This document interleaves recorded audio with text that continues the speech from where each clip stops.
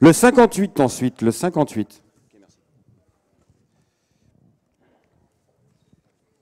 Minson, ah, un fils de Never on Sunday, dont les premiers yearlings se sont très très bien vendus l'an dernier, dont on attend avec la plus grande impatience la première génération de deux ans. Il y en a déjà eu un ou deux qui ont couru. Never on Sunday, présenté par le Rat du Saubois, le 58.